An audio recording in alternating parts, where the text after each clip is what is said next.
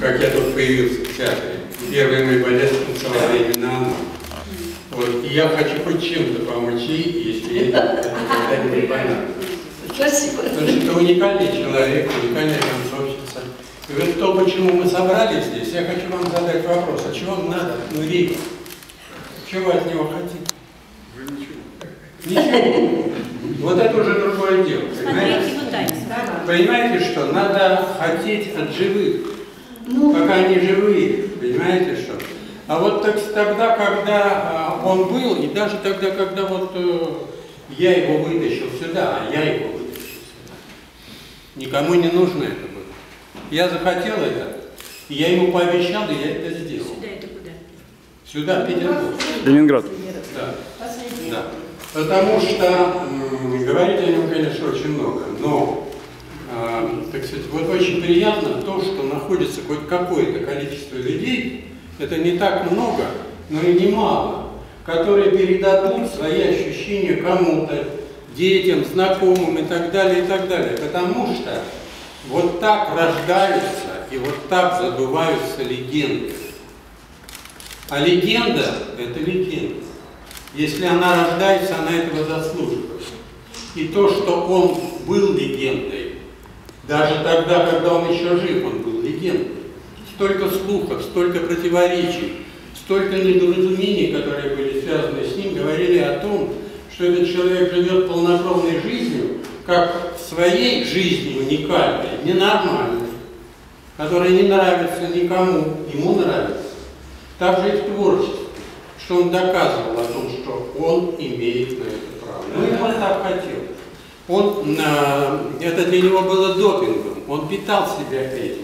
Понимаете, когда, скажем, вот а, одно время э, он стал приглашать меня в жюри э, самого конкурса ежегодного на повышение градации артистов балета в Гранд-Опера. Там же балерина, ведь это не обзываются балерина, ей присваивают знания балерины, этуали. Это титул, да. И вот этот титул, он каждый раз обсуждался на вот этих ежегодных э, конкурсах. Конкурсы, которые проходили все желающие в Парижской опере. От кордобалета до демисолистов, солистов, звезд и так далее, и так далее. Именно вот жюри, э, возглавляемое им, с приглашенными гостями, определяло статус той или иной звезды. И это происходило. Так вот на моих глазах э, э, многие э, ритуали стали ритуалами. Вот, и вопросы? Вот приятно, что вопросы. Понимаете, что давайте не речами заниматься, а разговаривать. Да, пожалуйста. Нет, ну, конечно, сейчас уже много того, чего сказали. Снято, и, правда, очень много фильмов, большую часть из них я видел. Но вы все это знали тогда, когда это было вообще-то опасно. Еще как. То есть на самом деле э, гастроли советского балета были, в общем-то, 60-е, 70-е, 80-е. Ну как вот с ним можно было как-то проконтактировать? Это, это отслеживалось. Более того, более того, более того, было приказано нам всем на собрании коллектива театра переходить на другую сторону улицы, если вы э, при встрече видите идущую к вам навстречу Нуриева, Барышникова или Макарова. И переходили. Вот. А тогда, когда они присутствовали всегда, как, а, они же знали, где, в каком отеле мы бывали, вот, и они обычно так, сказать, не вылезали вперед, а сидели где-то там на стойке бара, но обязательно со всеми здоровались.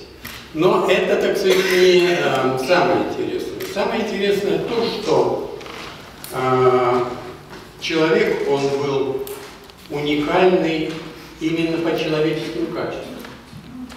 И очевидно, так сказать, вот его э, творческая одаренность, которая абсолютно, так сказать, исключительна, вот она проявилась уже в том виде, в котором он уже второй год обучения выступал в школьном театре, и у нас у всех уже просто затаив, мы смотрели, затаив дыхание, а, на то, как он концентрируется, как он концентрируется в движении. Понимаете, вот эта концентрация, которой наша школа не обладала. Вот концентрация – это школа Бурнанвиля, это э, стиль Баланчина, это только максимальное напряжение в кульминационных моментах движения, которое и дает чистоту техники. То есть, понимаете, можно э, показать конкретно позу, а можно показать путь в позу. Путь в позу показывать не надо. Это ошибка. Э, танцы состоят из поз. У нас этого не было долгое время. Вот потому что у нас другая эстетика, другой репертуар, другие законы нашего развития. Вот он первый, откуда он это взял, он этого не видел. Не было видео. Э, гастролей почти не было. Это уж потом, значительно позднее, э, приезжал Ковенгарден, приезжал два раза Баланчин. Но он танцевал вот уже на второй год обучения. Александр Иванович, э, так сказать, ему это дал. Возможно, потому что это был гений. Александр Иванович Пушкин – это гений абсолютно. Да, поэтому это и не случайно то, что э, родился именно в этом классе. И Барышников, и Нуриев. Вот. Вот. А мы, которые, так сказать, присутствовали при этом в классе, этим, не могли понять, потому что а, эта одаренность, это дается, приобрести это ни, никак. Понимаете, школы такой нету, упражнений таких нету, потому что ведь, э, опять-таки, что такое стиль? Что такое стиль? Что такое система? Логически обоснованная э, и развитая система упражнений – которая необходима для образования. Понимаете? И эту логически обоснованную систему в поступательном движении сформировала кто? Ваганов. До Ваганова этого не было.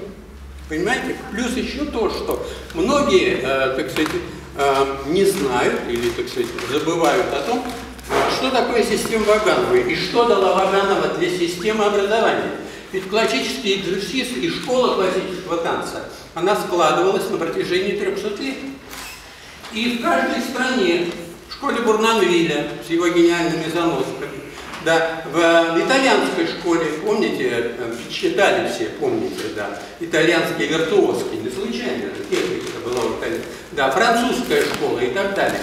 Это было все, у нас это не было, и Тогда, когда Ваганова, эта умница совершенно, так, которая, так сказать, вот взяла и сформировала это вот в той последовательности, логической, логически развитой, вот это и стало вот тем достоянием, которым мы сейчас гордимся. И теряем. Правда? Ну, многое ушло. Да. да. Вот. Почему? Потому что для этого, для любой школы нужен репертуар. Репертуар делает эстетику. Все, абсолютно. Вот. Но откуда этот мальчик из Уфы это приобрел? Откуда он это узнал? Вот это загадка. Вот об этом нужно больше всего думать, о том, где и как он разбирался внутренне, или это Боженька дал ему. Скорее всего, что это и так, и так. И потом, а, понимаете, мне непонятно, почему он вдруг стал таким добрым ко мне. А, потому что у нас не было с ним особенных контактов. Ну, просто потому, что мы в одном классе учились, учились и встречались и так далее. И так иногда разговаривали, у нас никакой дружбы не было. Было такое знакомство, которое потом вдруг превратилось во что-то необыкновенное. Он проявлял ко мне заботу в плане моего образования. Он, очевидно, понял то, чего был лишен он. Этого же всего был лишен я. Я ничего не видел. Мы ничего не видели. Потому что после этого Новосибирск, после этого, до этого и так далее. Гастролей много не видели. Вот. И тогда, когда вот впервые, вопреки, так сказать, вот тем э, наставлениям и прочим, так сказать, выговором, который я имел за, за встречи с ним, я продолжал встречаться инкогнито, конечно, так сказать, и очень часто. У него была замечательная компания, которая его опекала в Париже. Это Жанин Ренген, замечательная. Это одна из э, наших импресариев. А мы ездили в Париж э, почти каждый год и через год. Вот. И они меня свели с ним, да. Они каждый раз, так сказать, устраивали целую, э, так сказать, детективную, тоже последовательно развитую историю, когда, так сказать, мы попадаем на глаза к нашим сопровождающим, потом одевали, э, они одевали на меня парики, меняли машины и так далее. И мы ехали к нему домой, на эту набережную, эту чудную квартиру. И сначала это я был один, потому что мы э, не хотели подвергать опасности никого. Вот. А я же был не партийный, а я возглавлял труппу. Понимаете, я мог лишиться вообще всего. Но он мне стал показывать все то, что мне было необходимо как воздух. У него уже был громадный магнитофон с первыми этими гигантскими кассетами, да, где он показывал мне всех хореографов, все балеты, и свои, и э, чужие, и так далее, и так далее. И вот первая школа моего западного образования, она началась, начиналась в его квартире. Значит, э, с самого начала он не хотел мне давать никаких поручений. Да, понимал о том, что это можно. Вот. Но э, потом он очень осторожно спросил, что я могу сделать для того, чтобы, чтобы передать, так сказать, вот. И э, я был потрясен его фильмом э, «Валентин». Ну, гениальный фильм, он там потрясающий. И вот эту бобину, вот такую, с этим фильмом, контрабандный перевез и сюда, и передал ее здесь.